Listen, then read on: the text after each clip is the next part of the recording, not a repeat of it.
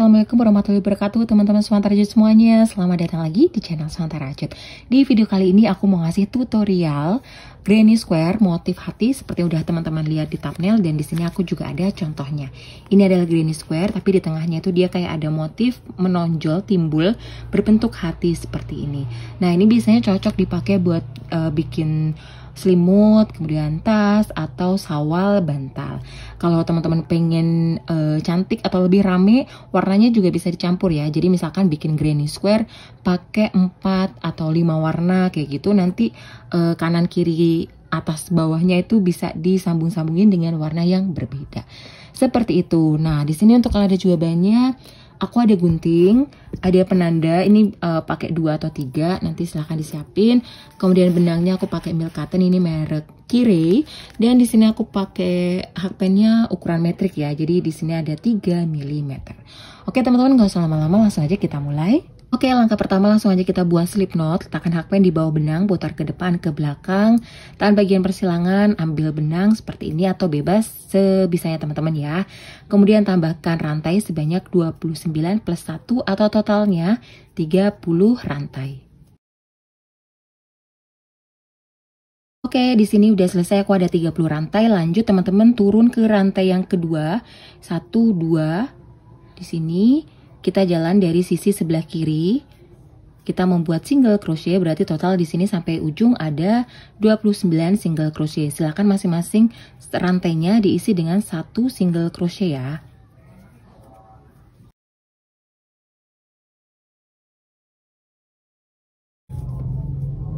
Nah ini aku udah sampai di single crochet paling terakhir atau single crochet ke 29 jika sudah, tambahkan satu rantai ke atas, kita putar balik. Masukkan hakpen di lubang hasil single crochet pertama dari belakang. Isi dengan single crochet, masing-masing single crochet isi dengan satu single crochet juga. Di baris yang kedua juga akan terbentuk sebanyak 24 29 maaf, 29 single crochet ya. Silakan lakukan cara yang sama seperti ini bolak-balik sebanyak 4 baris.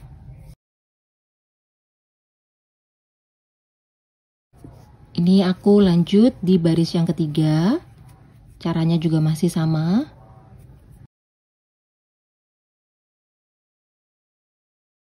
Empat baris single crochet sudah terbentuk seperti ini. Dan kita akan masuk ke baris kelima. Tapi sebelum itu silahkan pasang penanda di lubang paling tengah atau lubang ke-15 ya. Jika sudah tambahkan satu rantai putar balik. Kita masuk di baris yang kelima. Sama di sini silahkan masing-masing lubang isi dengan satu single crochet. Kecuali di lubang yang ada penandanya nanti akan kita isi dengan bubble stitch. Oke, masuk di lubang yang ke-15, kita lepas dulu penanda. Ambil benang, masuk di lubang ke-15, tarik bawah ke atas, keluarkan dua benang pertama. Jika sudah, ambil benang lagi, masukkan, tarik benang bawah ke atas, kita keluarkan dua benang paling pertama. Lakukan cara yang sama lagi, ini yang ketiga. Seperti ini, nah di hakmen sekarang ada lima benang, semuanya keluarkan bersamaan.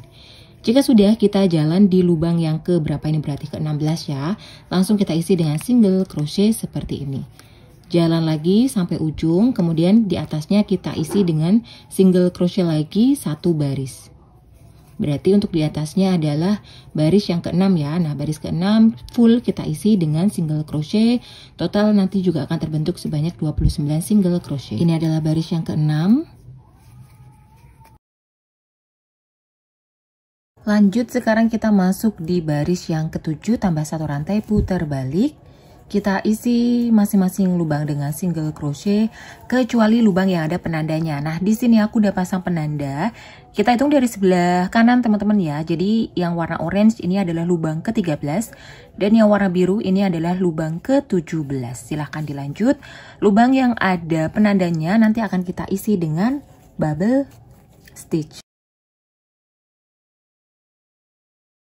Kita masuk di lubang yang ke-13, kita lepas dulu. Ambil benang, masukkan di lubang ke-13, tarik bawah ke atas, keluarkan dua benang pertama. Lakukan cara yang sama, ini yang kedua, dan ini yang ketiga. Nah, jika sudah di hakpen ada empat benang, langsung kita keluarkan semuanya bersamaan. Lanjut kita membuat single crochet di lubang selanjutnya. Satu, ini yang kedua. dan ini yang ketiga. Kemudian masuk di lubang yang ke-17, sama kita membuat bubble stitch lagi. Seperti ini. Kemudian untuk selanjutnya, caranya sama, teman-teman hanya fokus di baris ganjil ya. Ini yang aku bikin adalah baris ke berapa? 1, 2, 3, 4, 5, 6, ke 7. Nanti di atasnya baris ke 9, ke 11, ke 13, dan seterusnya. Teman-teman silakan mengikuti perhitungan yang udah aku tulis di video ini. Jadi ini adalah rumusnya, perhitungannya. Teman-teman fokus di sana saja ya. Bagian-bagian yang aku blok itu adalah bagian yang harus teman-teman isi dengan bubble stitch.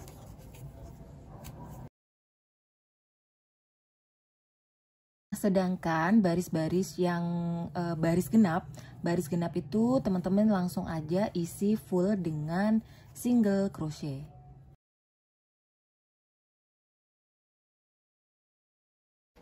Sekarang kita masuk di baris yang ke-9, langsung aja tambahkan satu rantai, putar balik isi masing-masing dengan satu single crochet kecuali bagian lubang yang udah aku isi penanda. Nah, untuk di baris yang ke 9 ini, jadi lubang pertama, kita hitung dari sebelah kanan ya. Ini adalah lubang yang ke-11, 12, 13, 14, 15, 16, 17, 18, 19. Jadi lubang ke-11 dan lubang ke-19 nanti akan kita isi dengan bubble stitch. Silakan untuk selanjutnya teman-teman langsung mengikuti perhitungan yang udah aku bikin. Kemudian nanti kita akan ketemu di baris ke-19. Teman-teman sekarang aku masuk di lubang yang ke-19. Ini aku udah mau putar balik. Nah di lubang ke-19 ini akan ada tiga lubang yang harus kita isi dengan bubble stitch seperti yang perhitungan yang udah aku tunjukin.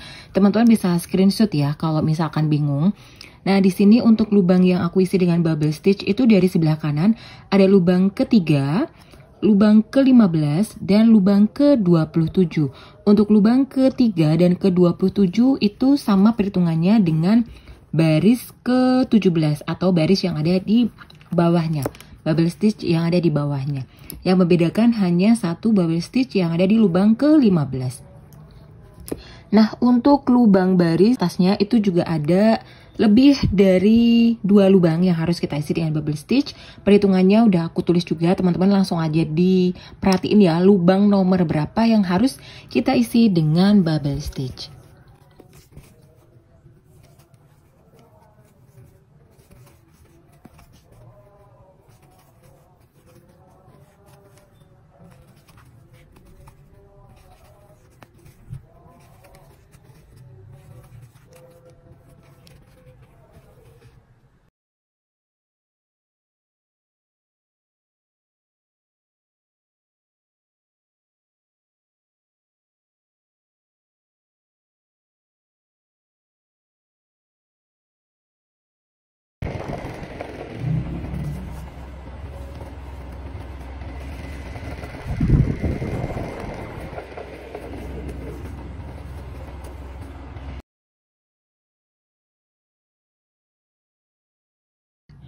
Nah, teman-teman, sekarang kita masuk di baris yang ke-25. Nah, di baris yang ke-25, kalau teman-teman lihat perhitungannya, di sana ada empat lubang yang harus kita isi yakni lubang ke-9, 10, dan 20, 21. Nah, untuk penanda yang warna biru ini adalah lubang ke-9, sedangkan untuk penanda warna orange adalah lubang ke-20.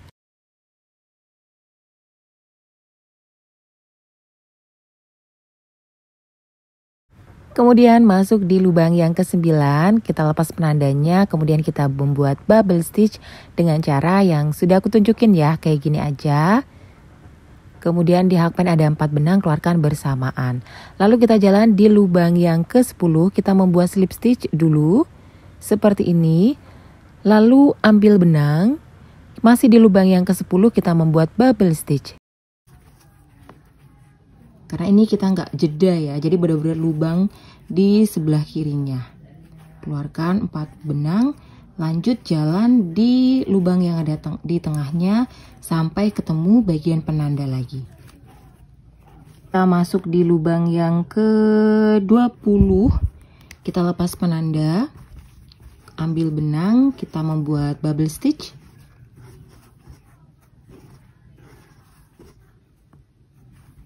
keluarkan lalu masuk di lubang yang ke-21 kita buat slip stitch kemudian ambil benang kita buat bubble stitch lagi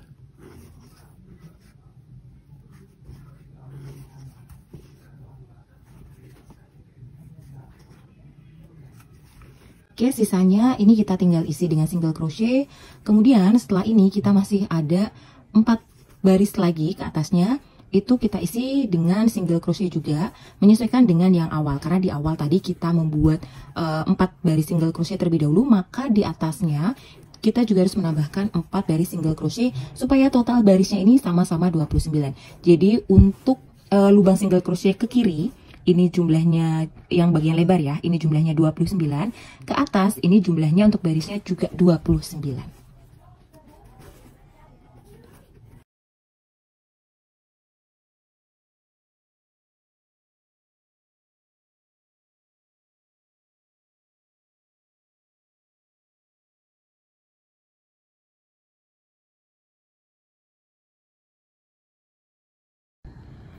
Oke, untuk single crochet di atas motif bubble stitch paling terakhir ini, bagian slip stitch itu tidak perlu diisi ya teman-teman ya. Jadi yang diisi adalah lubang hasil bubble stitch saja, sedangkan slip stitch yang tadi kita gunakan untuk menyambungkan bubble stitch satu dan yang lainnya itu di tengah-tengahnya tidak perlu diisi. Jadi ini kita skip, lanjut kita masuk di lubang bubble stitch depannya. Karena kalau kita isi berarti jumlah single crochetnya nanti akan bertambah. Jadi di skip aja ya. Nanti di bagian depannya juga seperti itu. Slip stitch di tengah ini kita skip. Jadi kita hanya perlu mengisi hasil bubble stitch aja. Seperti itu. Silahkan dilanjut. Nah, teman-teman, hasilnya kurang lebih seperti ini. Ini benang yang warna hijau memang sedikit lebih kecil ketimbang benang yang warna merah. Jadi, ukurannya pun jadinya juga sedikit berbeda, tuh kan? Padahal aku ini beli di toko yang sama, cuma ternyata ukurannya berbeda seperti ini, beda-beda tipis. Tapi untuk perhitungannya uh, kanan kirinya dan segala macamnya itu sama ya, benar-benar sama persis. Untuk yang warna hijau ke kirinya itu juga ada 29 single crochet, ke atasnya juga ada 29 baris single crochet. Hasilnya kurang lebih seperti ini. Kalau teman-teman mau bikin tas dan juga lainnya, saran aku cari benang yang benar-benar ukurannya sama supaya ketika dia ditempel dia nggak panjang sebelah kayak gini sebenarnya ini bisa aja sih kalau mau agak ditarik juga sebenarnya bisa aja oke okay. Ya, segitu aja teman-teman untuk tutor aku kali ini. Kalau ada pertanyaan langsung aja tulis kolom komentar. Kalau masih ngerasa video tutorial aku terlalu cepet, speed di YouTube-nya silahkan diturunin. Oke, teman-teman. Segitu aja untuk tutor aku kali ini. Thank you for watching. See you on the next video. Bye-bye.